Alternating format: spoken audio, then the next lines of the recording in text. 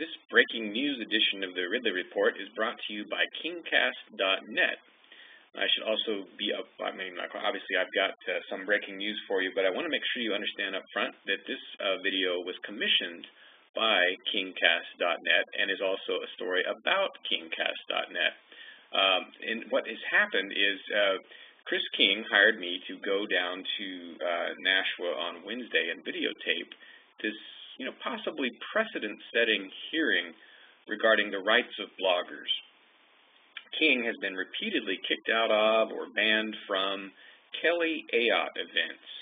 Ayotte is a big government Republican running for Senate, a U.S. Senate, in New Hampshire, and he can't seem to get into her events anymore. I guess they, I don't, I, I don't know what all their reasons were for uh, trying to keep him out. But anyway, what the, the news that's breaking today is that this trial or hearing, which was scheduled to happen on Wednesday as to whether he could start attending these events again, um, has been canceled. Um, you know, uh, and it was uh, uh, sent to it's been it's been sent to federal court. Uh, date currently unknown. Now, King's concern is that if he's in federal court, he uh, cannot bring a camera in, and he wonders if that may be the reason why these folks have canceled the hearing. Now, that's, the kind of thing that's of interest to average Liberty folk. Um, what's nice about this situation, though, is that it does tend to, you know, to create a bridge between the Liberty folk in New Hampshire and the civil rights community in New Hampshire of which Chris King may be uh, the most vocal representative. Anyway, um, trying to think what else is going to happen. I, you know, when, when we get a date on this federal hearing, then I will want to go if I'm able, if I'm in town.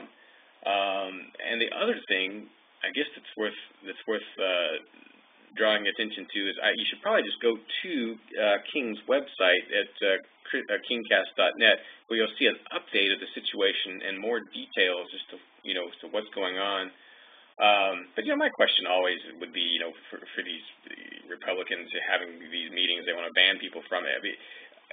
If they're going to ban Chris King, are they going to ban me? Uh, if they're going to ban me, are they going to ban Grant Bosse? Uh, who is a conservative blogger uh, that goes to a lot of these kinds of things, where are they going to draw the line?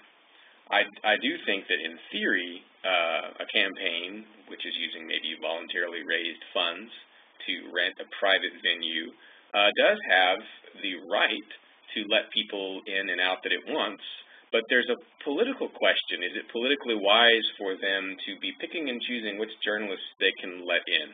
Uh, even if some of those journalists are representing very small organizations, should they really be banning them? They've definitely, by doing this, made Chris King bigger than he would have been uh, if they had just left him alone. Uh, anyway, um, that's all I can think of to tell you. Uh, if you look at the video description for this clip, I will try to post a link that gives you more updated information. And I look forward to being able to report from the scene of one or more hearings that may occur uh, hearings that I don't think should be in federal court. You know, what are the feds? What are they? What? Why do they have to intervene in this spat between New Hampshireites? Um, anyway, uh, this edition of the Ridley Report again brought to you by KingCast.net, uh, the voice of Christopher King, documenting the civil rights struggle in New Hampshire.